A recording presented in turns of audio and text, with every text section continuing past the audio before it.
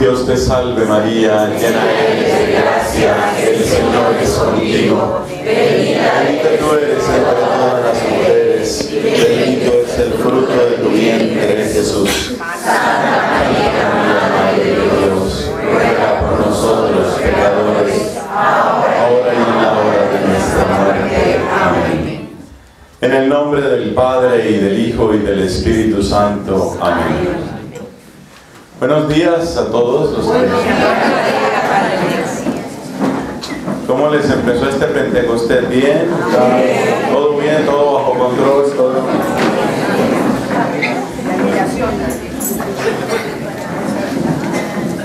Uno dice siempre, no todo bajo control, pero lo hermoso es que esté bajo el control de Dios, ¿no? Bajo el control de Dios, que sea Él el que esté llevando el camino, el que esté llevando nuestra barca. Ustedes pueden sentarse.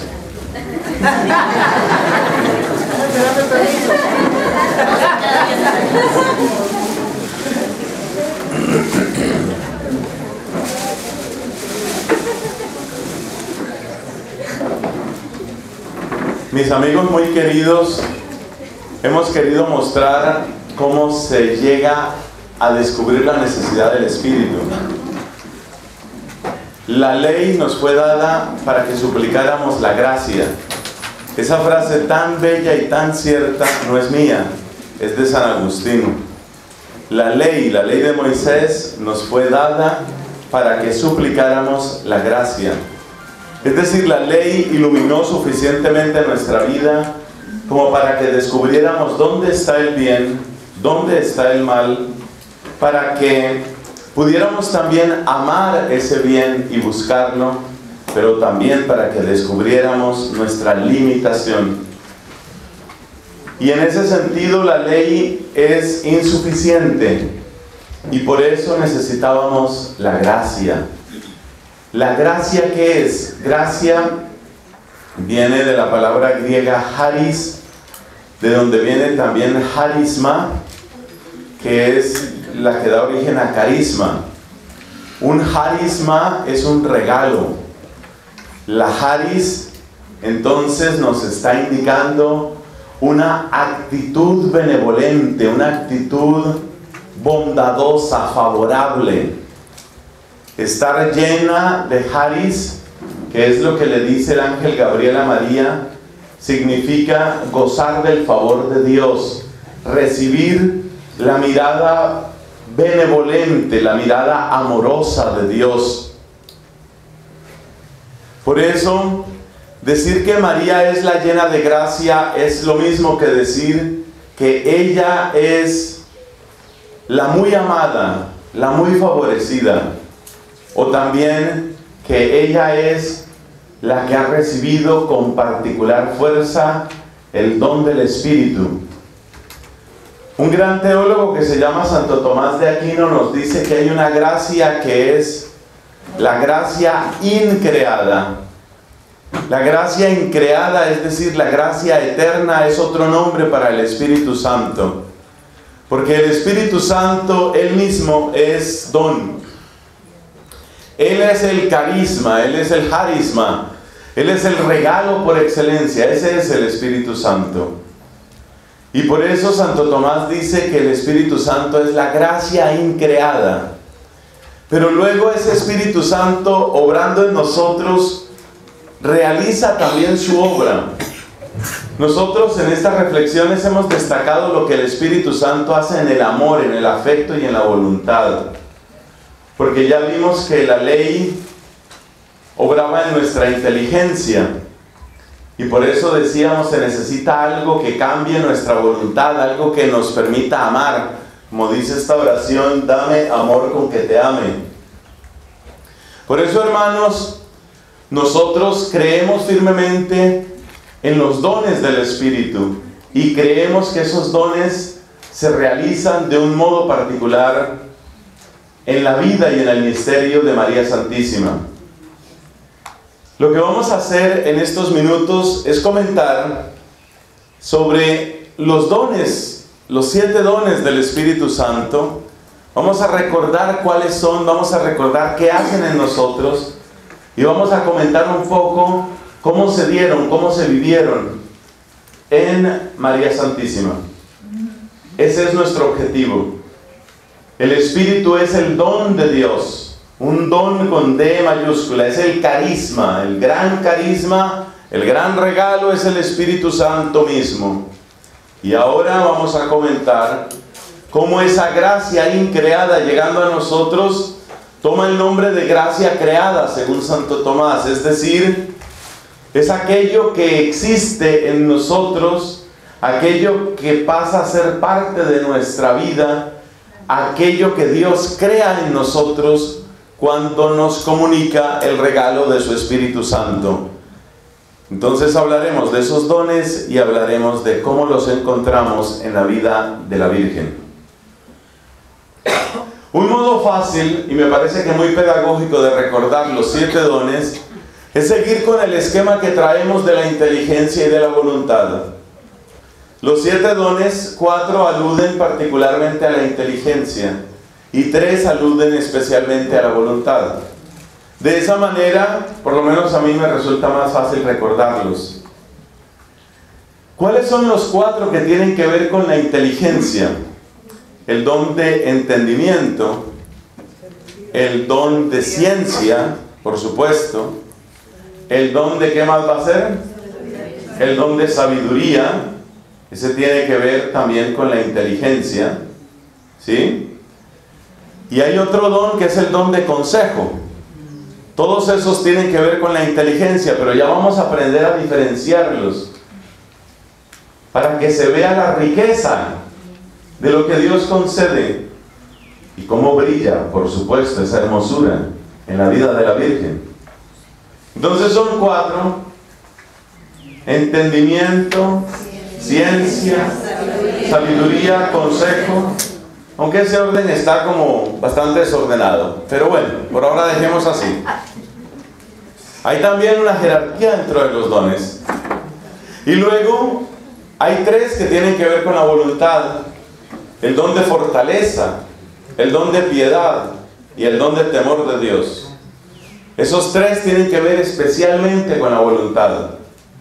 Pero hay algo que hay que destacar y es que, aunque en esta exposición que hemos venido haciendo, hemos subrayado mucho cómo el don del Espíritu trabaja en nuestra voluntad, la verdad es que el Espíritu Santo, que es Espíritu Creador, bendice y afecta de un modo hermoso, positivo, unge todo nuestro ser. O sea que el Espíritu tiene que ver con todo lo que nosotros somos. Su acción la detectamos en primer lugar en nuestra voluntad. Ciertamente, ciertamente es así. Detectamos primero en la voluntad. ¿Por qué? Porque resulta que lo que uno experimenta cuando tiene la ley pero no conoce la gracia es que hay un bloqueo en la voluntad. Y es ahí donde se detecta en primer lugar la acción del Espíritu. Pero es importante que se vea que el Espíritu renueva todo en nuestro ser, todo, todo lo que somos, alma y cuerpo. Nuestra memoria, nuestra inteligencia, nuestra, nuestras facultades, todas son bendecidas, son transformadas por el don del Espíritu. Bueno, entonces vamos con, vamos con, eh, con, esta lista de dones. Ya dijimos que cuatro lo referimos a la inteligencia y tres lo referimos a la voluntad. A mí me parece que un buen comienzo es el don de entendimiento. Cuando hablamos del don de entendimiento estamos hablando de la capacidad de captar la palabra de Dios, la capacidad de captar su sentido, su significado. Y yo lo pongo aquí en primer lugar porque esa atención y esa percepción y esa escucha y esa comprensión de la palabra divina, de alguna manera es la puerta para todo lo demás. La falta del don de entendimiento hace que uno sienta la palabra como una historia extraña, como una historia lejana, como una historia del pasado. La persona que carece de este don pero todos podemos suplicarlo. Siente que la Biblia es una colección de historias extrañas que le sucedieron a personas de otra época, personas muy distintas de como yo soy. Esto es lo típico cuando falta este don, una sensación de distancia y también una mirada de desconfianza. Esto es lo que sucede cuando falta este don. Una mirada escéptica, una mirada de desconfianza frente a la palabra. Podemos decir que el don de entendimiento crea una especie de comunión con la palabra. Se muestra el don de entendimiento en la Santísima Virgen en el capítulo segundo del Evangelio de Lucas, cuando se nos dice que ella meditaba la palabra en su corazón.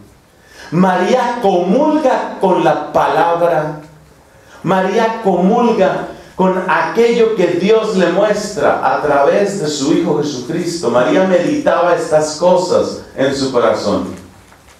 Ese meditar, ese apreciar y encontrar el sentido, ese avanzar en la verdad que Dios nos muestra, es lo propio del don de entendimiento. El don de entendimiento se refiere particularmente a lo que Dios revela, a lo que Dios muestra, y a lo que Dios muestra en especial en su divina palabra. Ese es el don de entendimiento. El don de entendimiento entonces tiene que ver también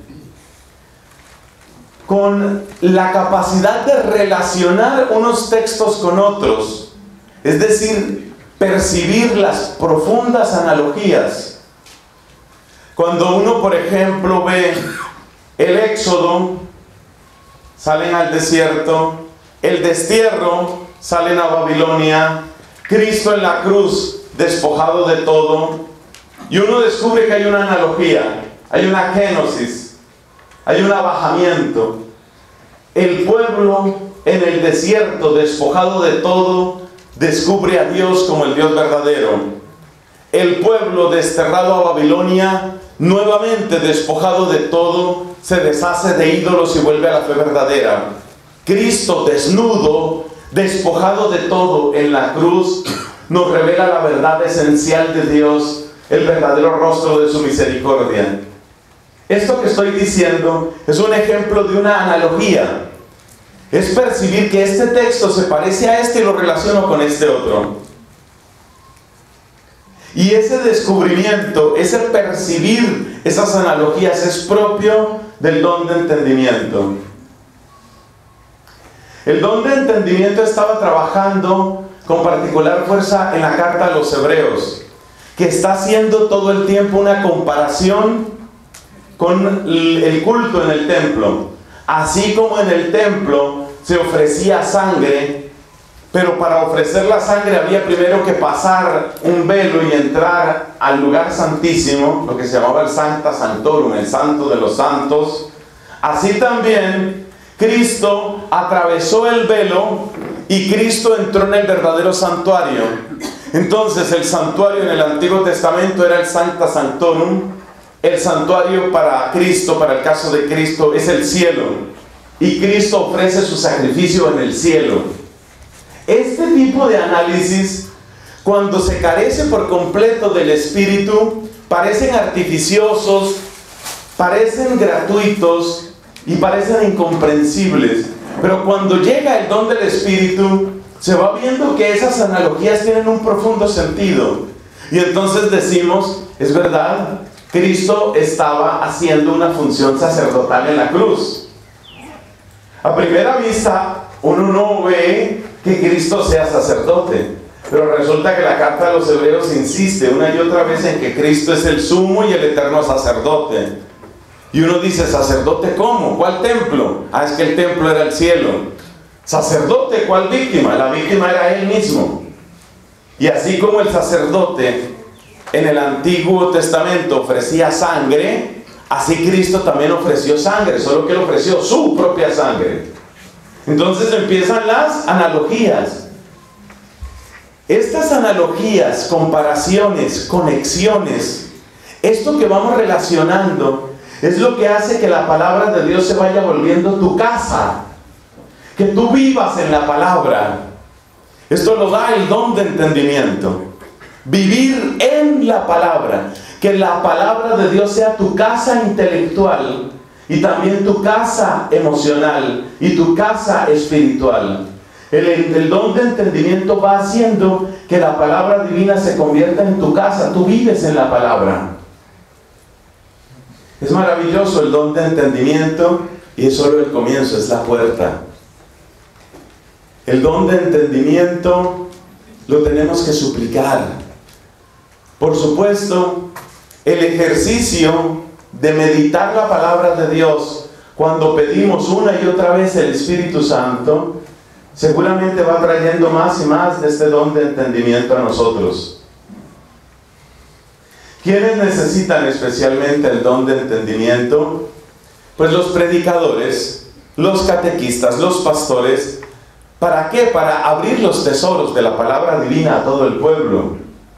A todos nos hace bien el don del entendimiento, pero no cabe duda que en especial los maestros, los predicadores, los misioneros necesitan, necesitamos de este don no solo para nosotros mismos, sino para que queden abiertos los tesoros de la palabra divina a todo el pueblo. Después del don de entendimiento quiero hablar del don de ciencia. Don de ciencia.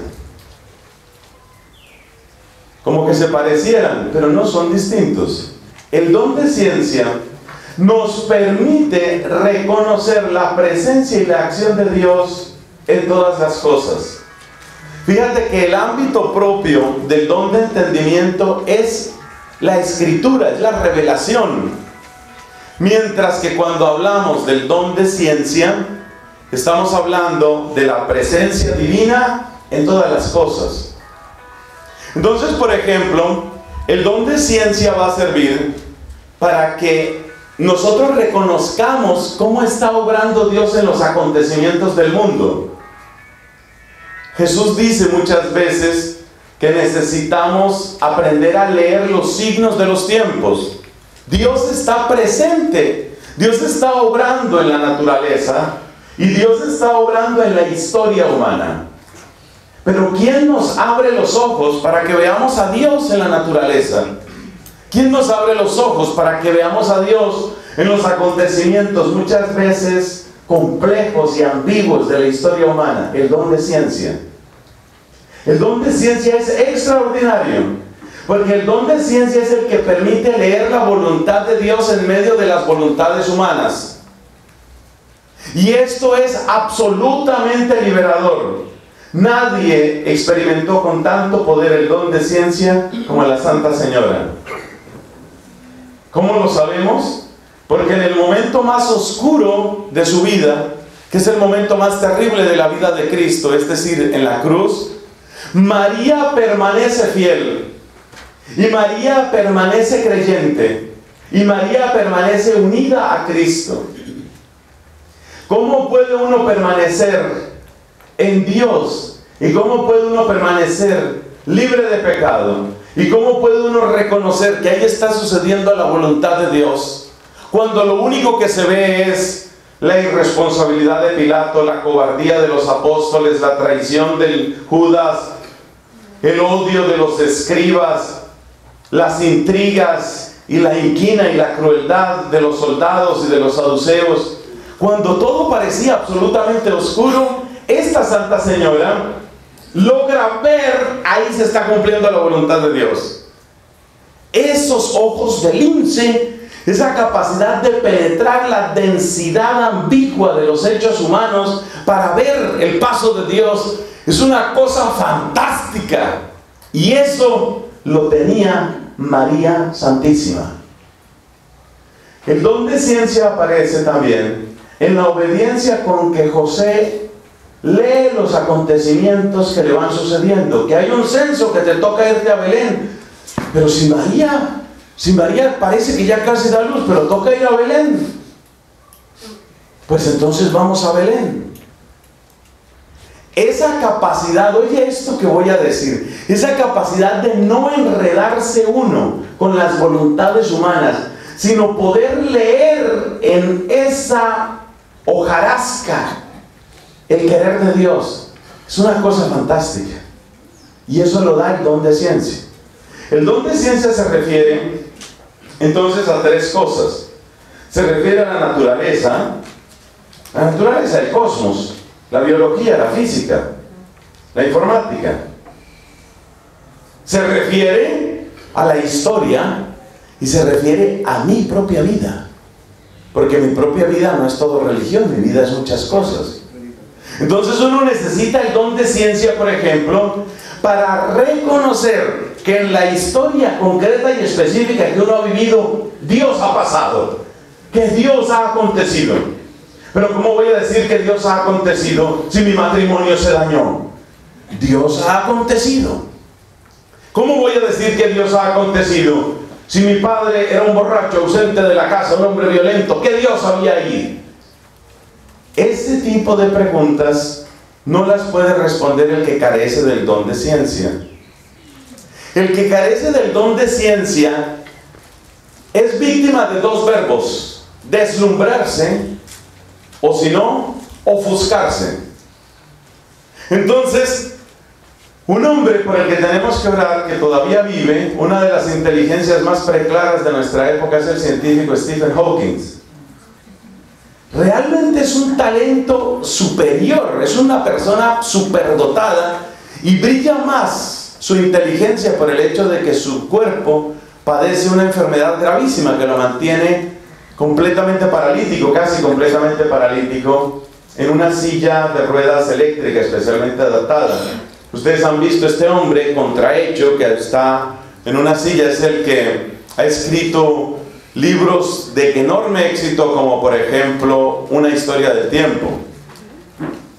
Fue tal vez el primer libro que lo hizo famoso, es un físico británico, pero es ateo.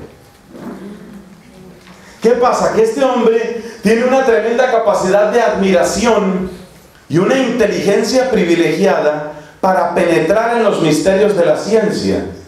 Él ha hecho algunos de los descubrimientos más interesantes de la física teórica reciente, incluyendo resultados sorprendentes como aquello de que los llamados agujeros negros se están evaporando la evaporación de los agujeros negros y su consiguiente explosión final es un resultado completamente impredecible desde la física que él conoció. Pero este hombre con esa capacidad, con ese cerebro absolutamente maravilloso, ha llegado a ese tipo de resultados que luego se han demostrado. Lamentablemente, es ateo Lamentablemente él está deslumbrado por la belleza de la ciencia y deslumbrado por la belleza de esa ciencia, la ciencia humana, no ve a Dios, no lo ve. Se parece a una persona que llegara a un banquete resulta que muchas veces en los banquetes al principio dan una bebida, dan un aperitivo, dan unos pasabocas. Imagínate una persona que llega a un banquete y le dan el aperitivo y le gusta tanto ese aperitivo y se toma tres, cuatro, cinco copas de aperitivo y pasabocas, tráigame más pasabocas y nunca entra al banquete. El mundo que conocemos, esta biología, esta cosmología, esta física cuántica, el mundo que conocemos es apenas el aperitivo. Es el aperitivo, pero el gran banquete es la verdad divina. Pero resulta que hay gente que se deslumbra, se deslumbran, porque han descubierto algo maravilloso, algo portentoso en la ciencia y se deslumbran. Qué pesar, qué pesar. Se lo pierden, se pierden lo mejor. Se quedaron en el aperitivo. El don de ciencia es el que permite que uno admire el conocimiento del universo, pero no se quede ahí. Uno no se deja deslumbrar. Por eso dice, por eso dice la palabra de Dios, si a ustedes les impresiona tanto la belleza de las cosas creadas, imaginen cuánto la supera el que las creó. Pero hay gente que se queda en las cosas creadas. Eso se llama deslumbrarse. Pero hay otros que en cambio se ofuscan porque tenemos que mirar también ¿Cómo está la acción de Dios en la historia humana? hay gente que se ofusca. ¿Dónde estaba Dios en el holocausto? ¿Dónde estaba Dios cuando secuestraron a mi hijo? ¿Por qué Dios no ha eliminado el cáncer? Ese tipo de reflexiones llevan a algunas personas a sentir que no puede haber un Dios. ¿Por qué Dios no hace algo por el hambre en el África? Y otro respondió, ¿cómo que Dios no ha hecho nada? Te hizo a ti. Dios hizo algo, te hizo a ti. Entonces, el don de ciencia es el que permite reconocer en los acontecimientos humanos la soberanía de Dios. ¿Cómo se articula la soberanía de Dios con la libertad humana? Ese es un tema complicado. Pero, pero, con el don de ciencia, eso se puede ver. Yo les voy a dar un par de ejemplos de la escritura. Resulta que habíamos dicho que un general, un soldado arrogante y blasfemo llamado Nabucodonosor, profanó el templo, saqueó el templo de Jerusalén y unos pocos meses después llevó al destierro a muchos de los judíos. Ahí uno puede decir, ¿dónde está Dios? Pero cuando uno mira el conjunto de la palabra divina, uno se da cuenta que eso, ese hecho, se inscribe dentro de una historia. Y es una historia de infidelidad y de rebeldía. Y es una historia de idolatría y de traición. Y uno se da cuenta que ese saqueo a Jerusalén no es un hecho aislado, sino un hecho que se inscribe dentro de un camino que Dios ha hecho con su pueblo y que no es tampoco el final de la historia. Entonces es distinto decir uno, Dios desapareció de la escena, a decir uno, Dios está caminando con nosotros, pero necesita educarnos, corregirnos y purificarnos. Y el segundo ejemplo lo tomo de la misma historia. Cuando unos 70 años después, otro rey igualmente arrogante llamado Ciro, todos esos poderosos se vuelven así.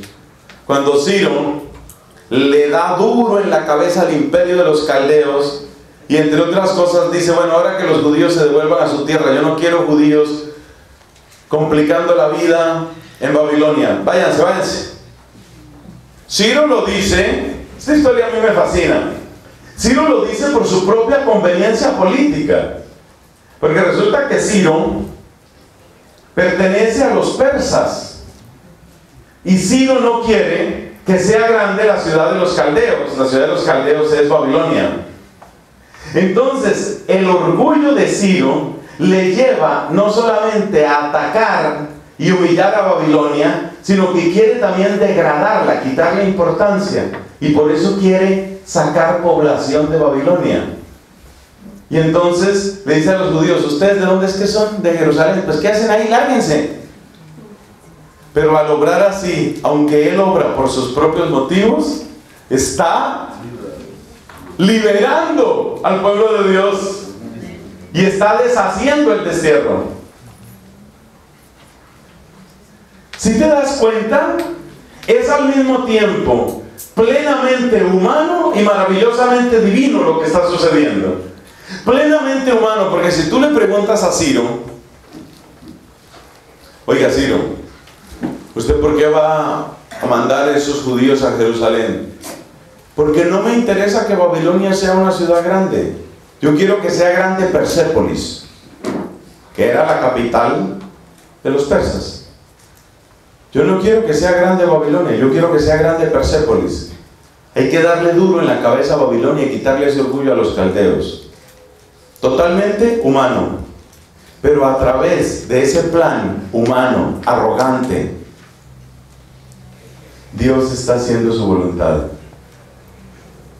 Porque Dios está liberando a su pueblo y le está permitiendo volver a Jerusalén. ¿Cómo logra uno percibir eso? A través del don de ciencia. Es decir, aquellos judíos que estaban viviendo eso, si tenían esta, si estaban salpicados por este don de ciencia, estoy seguro que podían percibir, mire usted, Dios está saliendo con la suya a través de, a través de, ver a Dios obrando a través de, incluso en lo más oscuro, en lo más tenebroso. Ese don lo tuvo la Santa Señora y ese don lo podemos pedir nosotros, se llama el don de ciencia. Pasemos al don de consejo.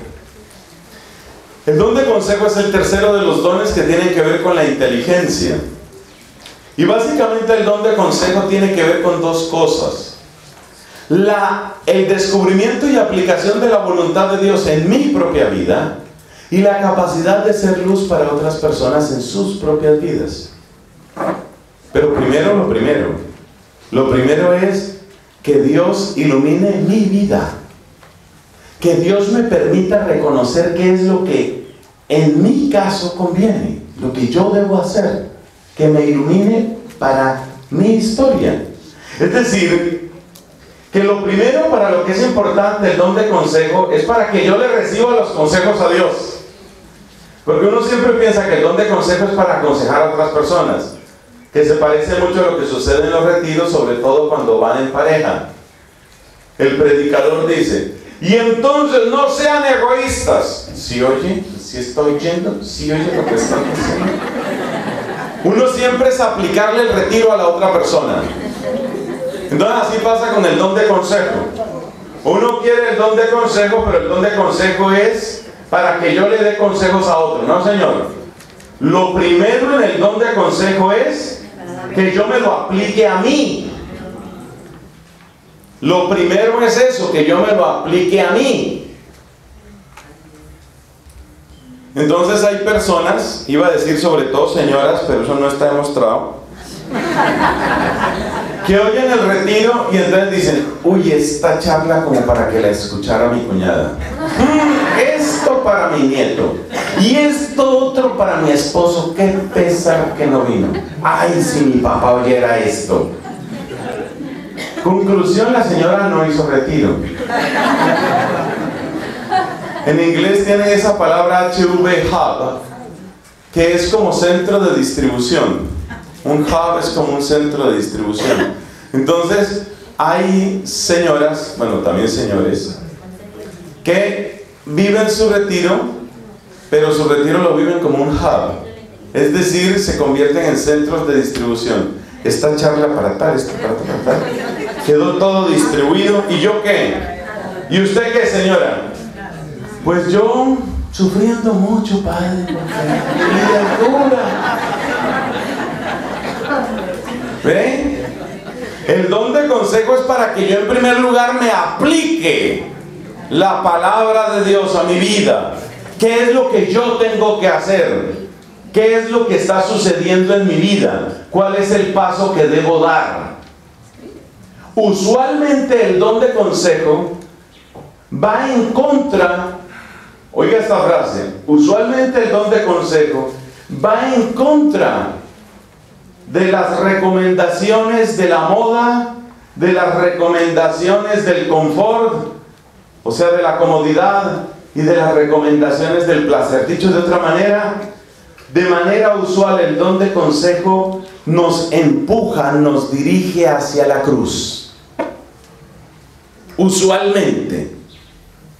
Es decir, siento que el Señor en este momento quiere enviarme a unas vacaciones con todo pago. Puede que sí, puede que sí, porque también el ser humano tiene que descansar. Puede que sí. Pero de manera usual el don de consejo se requiere para aquello que no es obvio ni apetecible para el corazón humano. El don de consejo nos revela el dulce querer de Dios que nos pone en ruta hacia la cruz. O sea que no es estrictamente hablando solo un don para la inteligencia. Porque acuérdate que el Espíritu Santo obra dentro de nosotros. Y cada uno de sus dones acontecen desde dentro de nosotros. Lo cual quiere decir que el don de consejo es como un susurro amoroso, un susurro que convence. Como cuando tú tienes una muy buena amiga que te da un muy buen consejo y te dice, mira, no, no lo veas así. ¿Por qué no lo miras de este otro modo? Mira, en lugar de echarle talio en la comida a tu esposa,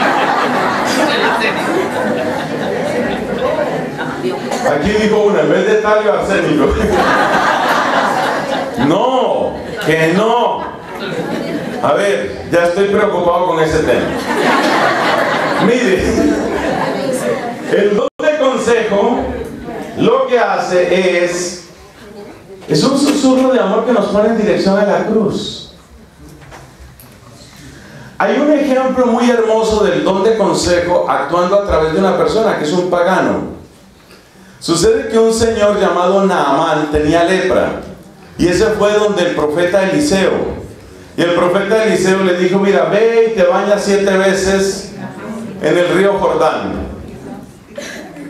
Y entonces Naamán montó en cólera y dijo, valiente gracia, semejante viaje que hago para ver al tal profeta este Eliseo. Y el hombre ni siquiera se dignó salir a saludarme. Y eso es verdad, Eliseo ni siquiera salió a saludarle. Desde allá, desde dentro, le mandó a decir, oye, dile al tipo ese, el tipo ese era Naamán el sirio, dile al tipo ese que se bañe siete veces en el río Jordán. Y este dijo, pero ni siquiera salió a saludarme, ¿qué pasa con ese profeta? ¿Cómo así? Y él no iba a hacer lo que le dijo el profeta. Pero uno de sus colaboradores le habló y le habló con afecto y con respeto y le dijo, pero hombre, no te pongas así. Mira, si él te hubiera mandado una cosa difícil, lo hubieras hecho, ¿cierto? Lo único que te está diciendo es que vayas y que te laves siete veces en el río. ¿Por qué no lo vas a hacer, hombre? Entonces Naamán, zapateando como el chavo del ocho, bueno, está bien entonces. Después de mucho zapatear y quejarse, fue y se lavó una vez, salió del río, se sentía ridículo. Se metió otra vez, tercera, cuarta, quinta, sexta, séptima, cuando salió la séptima vez estaba su carne limpia. Gracias a que éste le aconsejó. Eso es lo que el Espíritu Santo hace en nosotros. Nos da ese susurro. Entonces, por ejemplo, hay personas que tienen crisis de fe y se sienten ridículas adorando la Eucaristía. Sobre todo cuando una persona viene de un medio completamente secularizado, completamente ateo. O esas personas que se les ha subido la ciencia a la cabeza y que creen que son los primeros que comprenden las ecuaciones del universo. Porque a todos nos puede pasar, ¿no? Se le sube uno la soberbia a la cabeza y le dicen uno arrodíllese. Y es para que se pone tieso, tieso, y la persona no quiere arrodillarse. Pero es posible que el Espíritu Santo te dé un consejo y te diga, mira, es propio de Dios la humildad de esa presencia. Reconócelo. Y ese susurro infunde en ti un espíritu de adoración. Porque cuando uno entra en los caminos del Señor, todo le parece ridículo. Todo es ridículo. Yo he contado varias veces en mi testimonio cómo lo primero que a mí me parecía ridículo era tanta aplaudidera y levantar manos y danzar y que para aquí, que para allá, y Dios para aquí, Dios para allá, y todo eso me parecía ridículo. Gente tan ridícula. Pero sucede que esa gente ridícula tenía amor, tenía perdón, tenía sanación, tenía alegría, y yo carecía de casi todo eso. Entonces hubo un momento en el que sentía el ridículo, aquí soy yo. El ridículo, los ridículos no son ellos, el ridículo soy yo. Eso es acción del Espíritu Santo. Es como un susurrito aquí en el oído que le dice a uno, ¿por qué no amas más? ¿Por qué no bajas un poquito tu orgullo? ¿Por qué no te abres un poco más al amor divino? Ese es don de consejo. Pero eso no para una cosa ni dos, sino eso como presencia que va guiando tu vida. cuando ese don de consejo toma realmente fuerza en nosotros, también nos ayuda a que nosotros aconsejemos a otros. Entonces la persona que poco a poco va conociendo del querer de Dios, aquella persona a la que tal vez se puede aplicar lo que dijo San Pablo, que me parece una de las frases más audaces de la Biblia. Nosotros tenemos el pensamiento de Cristo, dice San Pablo. La persona que, que llega a ese punto, la persona que recibe ese consejo, y la persona que se acostumbra a vivir así como, como en esa luz particular de Dios, también llega a tener la capacidad de aconsejar a otros. Entonces se recuerda entre los santos con un don de consejo maravilloso, tenemos que contar a San Bernardo. San Bernardo fue consejero, San Bernardo de Claraval era consejero de reyes, de emperadores. El Papa le pedía consejo. Catalina de Siena brilla por el, don de consejo, entre otros. Cuando el Papa estaba retornando hacia Roma, después de muchos años de no vivir los papas en Roma, el Papa volvía a Roma, llegó a la ciudad de Génova y sintió miedo y no supo qué hacer. Y fue de noche a donde estaba hospedada Catalina en la misma ciudad. El Papa fue de noche a pedirle consejo a esta mujer. Lo que es el don del Espíritu Santo. También en el don de consejo podemos destacar a uno, un hombre prodigioso por su inteligencia y su memoria, gran estudioso, un obispo de muy baja estatura llamado Antonino. Ese es un diminutivo italiano, Antonino, como decir Toñito.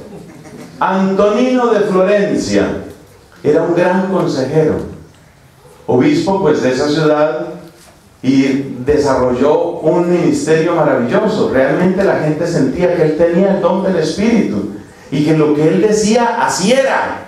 Tenía un don muy poderoso, Antonino de Florencia. El don de consejo asoma en dos momentos particulares de la vida de la Virgen. Semejante propuesta que le llega, vas a ser la madre del Mesías. ¿Cómo aceptar eso? ¿Cómo reconocer eso? El don del Espíritu hace posible que ella acoja esa propuesta absolutamente, absolutamente increíble. Y luego ella aplica el don de consejo en las bodas de Caná. ¿Cuál es el gran consejo que da María? Hagan lo que Él les diga. Ese es don de consejo. Ella percibe lo que está sucediendo. El cuarto don es el don de sabiduría. Pero el don de sabiduría no lo vamos a mencionar ahora, porque lo vamos a dejar de último. Y la razón por la que vamos a dejar de último el don de sabiduría es porque la tradición de la iglesia, eso significa muchos autores muy sabios y muy santos, han visto en el don de sabiduría el pináculo, el vértice, la cumbre de todos los dones. Entonces por eso lo vamos a dejar para el final después de ver los otros dones hermosos, maravillosos, que son los dones propios de la voluntad. Para hablar de los dones de la voluntad, a mí me parece que es bueno empezar por el don de piedad. Uno asocia la piedad con la devoción y es parte, pero no es todo. La piedad la palabra piedad en español viene de la palabra pietas en latín y la palabra pietas se refiere al amor que es característico, al amor único que se da entre padres e hijos, entre hijos y padres. La pietas se refiere a ese mundo de afecto que tiene a la vez ternura, cuidado, generosidad, entonces el don de piedad, lo mismo pasa con el don de piedad que con el don de consejo. Uno siempre piensa en el don de piedad en primer lugar con lo piadoso que yo voy a hacer. No, lo primero en el don de piedad es la percepción de la ternura. La percepción de la ternura de Papá Dios. Un hombre que yo creo que tiene muy desarrollado el don de piedad es el Papa Francisco. Es un hombre que no solamente irradia ternura, sino que en primer lugar tiene una tremenda sensibilidad hacia la ternura de Papá Dios. Y él habla de la ternura abiertamente. la vida cristiana necesita de mucho afecto, de mucha ternura. Entre otras cosas, porque la ternura es la gran salvaguarda, es la gran protección para muchos pecados. Las personas que crecen o que viven sin ternura fácilmente se vuelven implacables, se vuelven duras, se vuelven rudas y se vuelven insensibles a las expresiones más delicadas, que son también las más abundantes del amor de Dios. Entonces lo primero que hace el don de piedad es hacernos sensibles a las muestras del amor de Dios. Y esa capacidad de ser sensibles produce en nosotros una sensación de compañía y una sensación de protección y una sensación de calidez. Y todo esto es muy importante porque esto es lo que hace que nosotros seamos mucho menos vulnerables a los atractivos del mundo. Se lo voy a explicar de esta manera. Imagínese una esposa que se siente muy, muy amada por su esposo, pero mucho. Es que ella siente que los detalles de él, la manera como la quiere, la manera como la trata, la hace inmensamente feliz. Y ella tiene unos hijos, y esos hijos son unos hijos agradecidos y cariñosos, y son ese tipo de niños que llenan de alegría y de luz el rostro de una madre. Esa mujer que se siente tan amada por su esposo y que se siente tan feliz con sus hijos, es prácticamente imposible que se sienta tentada de infidelidad. ¿Yo qué voy a buscar en otra parte si todo lo tengo en mi hogar? Entonces el don de piedad es muy importante porque el don de piedad es el que hace que uno se sienta en casa, en la fe que uno creyendo se sienta en casa y que uno en la iglesia se sienta en casa. ¿Y qué quiere decir en casa? Quiere decir que no tengo necesidad de buscar nada afuera. La mujer que se siente amadísima, que se siente feliz, que se siente acompañada, mimada, ¿qué se va a poner? ¿Qué le va a prestar atención aunque llegara por ahí algún tonto a decirle, ¿cómo estás de linda? Pues ella no va a sentir una tentación en eso, más bien va a tener una cierta distancia y protección. Cuidado este señor con qué me va a salir ahora. Porque ella se siente en casa, se siente feliz con lo que tiene. Entonces el don de piedad es el que nos hace sentir en casa. Es el don que hace que uno se sienta feliz con la fe que tiene que se sienta en casa también en la liturgia. Cuando falta el don de piedad, la persona asiste a la liturgia y no entiende nada y lo único que está esperando es que se acabe, que se acabe, que se acabe. No tiene el don de piedad, no se siente en casa. No le ve sentido a las oraciones, todo le parece recargado, siempre anda buscando qué criticar, todo es repetido, no sé, uy, sufre mucho. Entonces el don de piedad en primer lugar nos hace sensibles a las muchas manifestaciones del amor de Dios en la liturgia, en la familia, en la naturaleza. Pertenece al don de piedad y va muy unido al don de ciencia, lo que tenía por ejemplo Francisco de Asís. Esa capacidad de él de ver hermanos, hermano Sol, hermana Luna, esa capacidad de sentirse a gusto en la creación. Pero eso no es solo don de ciencia, no es solo descubrir que Dios está obrando. Es que Él se siente, está en la casa de mi papá. Estoy en la casa de mi papito. Y mi papito me ama. Y me siento amado por Él. Y esa felicidad, y ese gozo, y esa calidez ablandan el alma y la vuelven sensible. Y la disponen para una serie de obras maravillosas.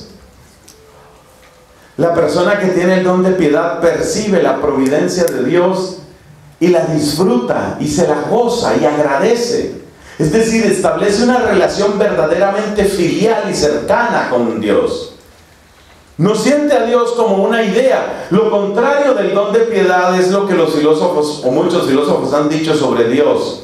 Lo ven allá como una idea, como una cosa por allá lejana. No.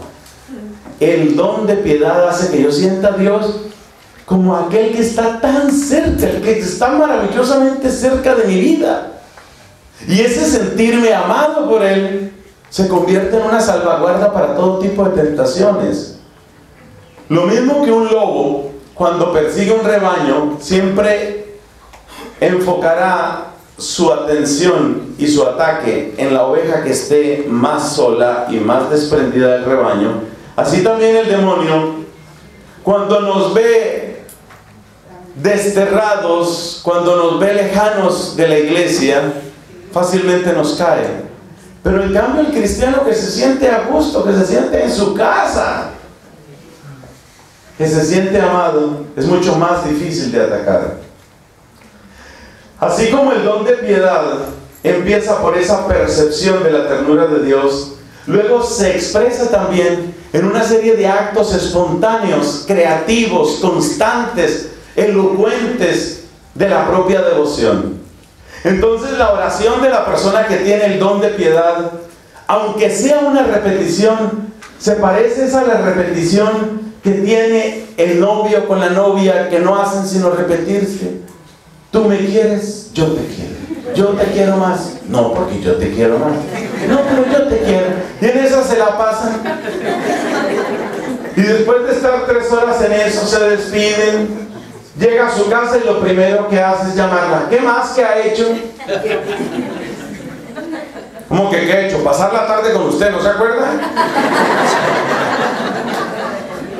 Bueno, para el, que no está enamorado, esa perdedera de tiempo y esa repetición de que tú me quieres, yo te quiero, eso es perder el tiempo, eso es tonto y es aburrido. Pero para el que está enamorado, eso es dulzura, eso es maravilloso, eso se siente muy bien. Dime otra vez que me quieres. La persona que tiene el don de piedad vive la oración de tal manera que aún lo que parece repetición se disfruta. Aún lo que parece repetición. El que tiene el don de piedad, si va a rezar el Santo Rosario, no dice dos Ave Marías iguales. Cada una es nueva, cada una es bella. Ese don de piedad lo encontramos y de qué manera en la Santísima Virgen. Cuando vemos y reconocemos en ella una persona que se siente rodeada, bendecida, amada por Dios. Dice ella, ha mirado la humillación de su sierva, la humillación de su esclava. Ella se siente rodeada del amor de Dios. Ella siente que esa presencia bendita de amor la acompaña y la defiende. Entonces el don de piedad nos hace sensibles a la ternura de Dios y el don de piedad se expresa también en nuestros actos de devoción con respecto a la divinidad. Hablemos del don de fortaleza. El don de fortaleza, según explica Santo Tomás de Aquino, tiene que ver con dos cosas. La capacidad de ser audaz y lanzarse el que no tiene el don de fortaleza no ve sino problemas. Ustedes saben que la humanidad se divide en dos. Hay gente que a cada problema le busca una solución y hay otra que a cada solución le busca un problema. Entonces, el que no tiene el don de fortaleza, a cada propuesta le ve un problema. Oye, ¿te parece si hacemos una evangelización? Hagamos una jornada de evangelización con los jóvenes. Los jóvenes, no, los jóvenes, miren, en primer lugar, los jóvenes se la pasan conversando. Entonces, va a ser muy difícil. Viven distraídos. No, mire, eso, eso no va a funcionar. Eso no va a funcionar. Entonces, hagamos una jornada de evangelización con adultos mayores. Es decir, lo que antes se llamaba viejitos cacrejos.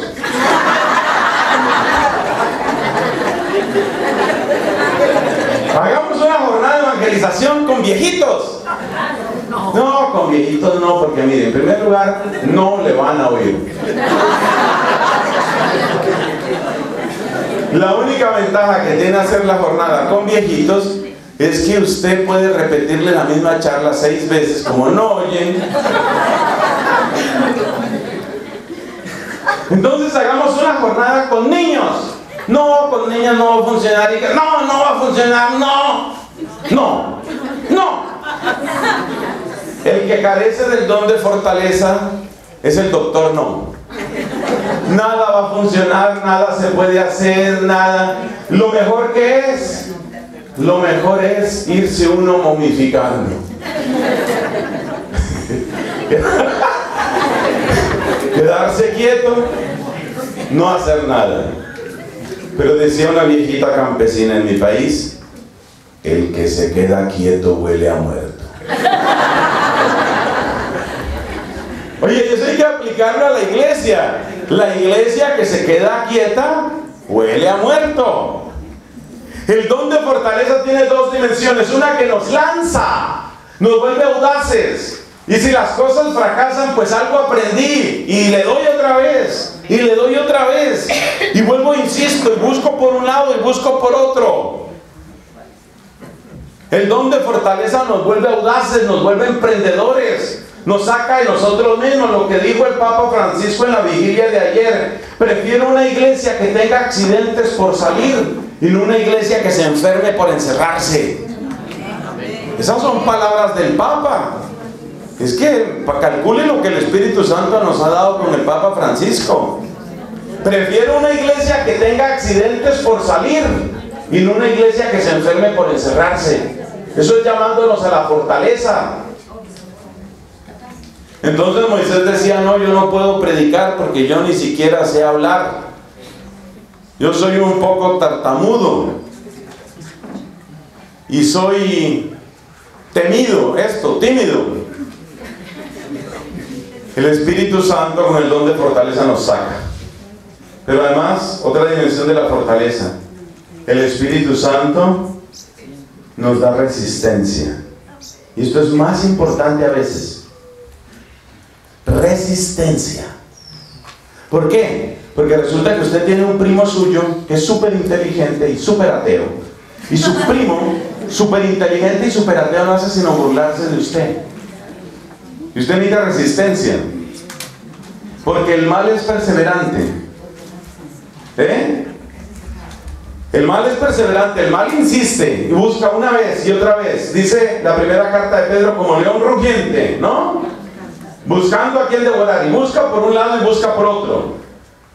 Y usted llega de su retiro espiritual de Pentecostés y ahí está preciso su cuñado o su primo o su esposo listo para burlarse. Porque apenas usted comete el primer error. Eso fue lo que le enseñaron en el retiro. Y es la burlita. Y la burlita y la burlita. Bueno, vamos a hacer un brindis, pero me imagino que usted no tomará nada porque como viene allá de su retiro es en que anda, usted no puede tomar nada. Como usted es así ridícula, usted es la ridícula, la rezandera, la beata rezandera. Y es un día y otro día, y otro día y otro día. Entonces se necesita resistencia, no solamente para aguantar, sino para ver cómo es que se va a responder. Y el Espíritu da fortaleza. El temor de Dios. El temor de Dios, la manera más fácil de entenderlo, porque hay que resumir, es temor de ofender a Dios. Es conciencia de su soberanía, conciencia de su poder, conciencia de su majestad. Es conciencia de su omnipotencia. Es reconocer uno su verdadero tamaño y sobre todo es temor de ofenderle. Temor de ofenderle. Es saber que de las manos de Dios nunca salimos. Es uno de los dones que está más ausente de la vida social hoy. ¿Por qué? Porque acuérdate que dijimos que hay tres abismos, ¿no? Que se llaman, ¿sí se acuerdan de los abismos o el sueño hizo desaparecer la memoria? Ustedes tienen memoria RAM o tienen disco duro, ¿eh? Porque hay gente que se resetea, ¿no? Noche se resetea y... Cinismo se acordó de uno. Desesperación se acordó del otro. Bipolaridad. ¿Y cuándo nos queremos curar de la bipolaridad? Ya no la queremos. Ya no queremos curar. Oiga, el temor de Dios. El temor de Dios. Póngale cuidado. El temor de Dios desaparece en esos abismos. El cínico no tiene temor de Dios. No, yo, yo soy así, yo soy así. Pues sí, es verdad que yo, yo trafico, lo trafico, sí, es normal. Cada uno se gana la vida a su manera. Como decía una prostituta alemana, para que se vea el caso del cinismo, ¿no? Cada uno se gana la vida con alguna parte del cuerpo. Entonces cada uno pues utiliza algo, ¿no? Yo utilizo algo. Cinismo. El cinismo es directamente opuesto al temor de Dios. Directamente opuesto. El temor de Dios es conciencia precisamente de que hay uno que es Señor y es verdadero Dios y es Rey y es soberano y es juez. Ojo, es juez. El hecho de que hablemos del Dios amor no quita que Dios es el que juzga. No le quitemos a Dios eso. Dios juzga y ante Él hay que comparecer. El temor de Dios nos lleva a una obediencia gozosa. Puede parecer una contradicción, porque alguien puede pensar que el temor es únicamente una obediencia por miedo, pero no. Dijimos que la plenitud del temor de Dios es el temor de ofenderle. Y el temor de ofenderle en realidad conecta con el don de piedad que ya hemos mencionado y hace posible que la persona viva en dulce amistad con Dios. Mis hermanos, vamos a dejar hasta este punto, nos falta el don de sabiduría Vamos a hablar del don de sabiduría y de la multiplicidad de los carismas. Pero no se nos olvide, pues, obviamente, el don de temor de Dios está presente en María cuando ella se llama a sí misma esclava del Señor. Y reconoce que el poderoso ha hecho obras grandes por mí. Y por supuesto, el don de fortaleza brilla en ella muy especialmente cuando permanece de pie junto a la cruz. Gloria al Padre y al Hijo y al Espíritu Santo.